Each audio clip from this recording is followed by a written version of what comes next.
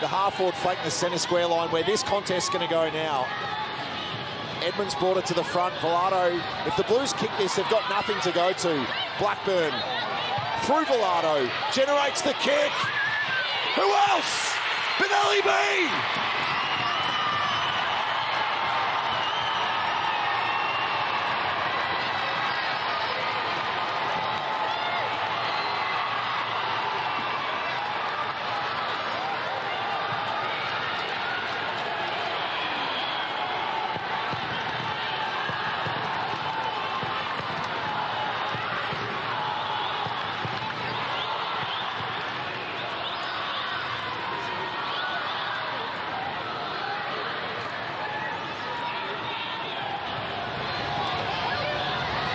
Blackburn's game tonight belongs in a museum. The goal from the opposite forward flank, seven minutes into the game, when the Dogs desperately needed some oxygen. And then this, on an injured right foot, out of a stoppage, puts her side in front, margin three points, 142 left. The Bulldogs in touching distance of finals. Berry, Lynch, Snell, kick wide, Vickers marks, Carlton with an opportunity for a third win of the season. Lynch marks. And it's now about control for Nathan Burke's team.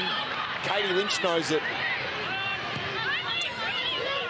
For the Bulldogs now, it's now holding possession, but holding smart possession, taking your full seven seconds when you have the mark.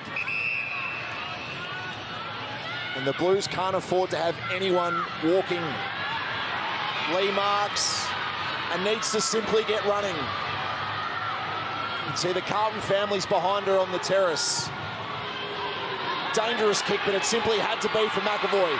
Two to beat, and she'll do just that perhaps. But Lamb inserts herself like only Kirsty Lamb can and takes the ball to ground through the Trudgeon tackle. And the Dogs are 38 ticks away.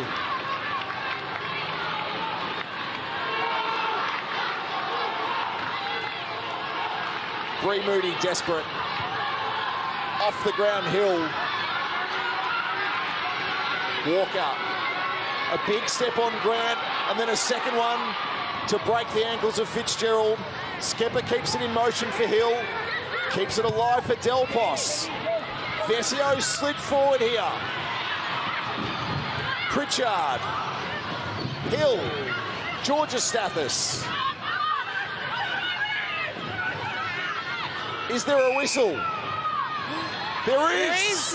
Laloifi's also come up forward as well.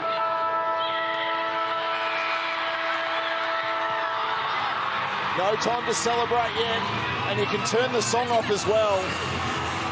So Carlton are going to have a shot at goal after the siren, and Keeley Skepper in her first AFLW season, as the song is quickly paused. 3-2 for the season for the 18-year-old from Shepparton United to give Carlton a walk-off win in season seven. A miss, and the Bulldogs will be playing finals. It's footy in November for the Dogs.